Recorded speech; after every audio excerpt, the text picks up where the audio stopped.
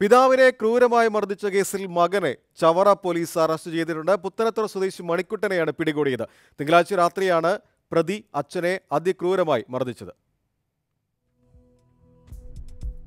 FIR അവസാനിക്കുകയാണ്.